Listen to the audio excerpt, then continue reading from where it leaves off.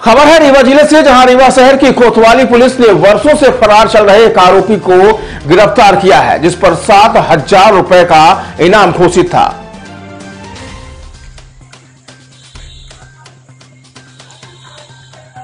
Police की माने तो आरोपी थाने में दर्ज अलग अलग मामलों में वांटेड था, जो पुलिस को चकमा देकर फरार चल रहा था।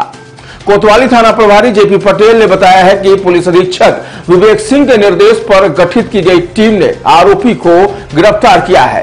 बताया गया कि दो अलग अलग अपराधों में फरार आरोपी अभिषेक बंसल उर्फ़ मलिंगा निवासी नारायण चक्की के पास बिछिया थाना बिछिया को कोतवाली में दर्ज मामलों में आरोपी को गिरफ़्तार किया गया है। पुलिस के मुताबिक आरोपी घटना दिनांक से लगातार फरार चल रहा था, जिसकी गिरफ्तारी के लिए एसपी विवेक सिंह ने सात हज़ार रुपए का इनाम घोषित किया था। आरोपी को फ़िलहाल सिटी कोतवाली पुलिस ने गिरफ़्तार कर लिया है और उसे न्यायालय में पेश कर जेल भेज दिया है।